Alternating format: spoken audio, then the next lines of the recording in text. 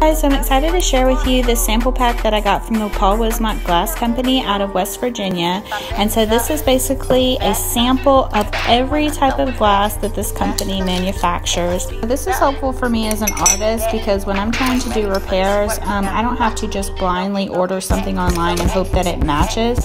Um, I can actually come here and make sure I'm ordering the right thing.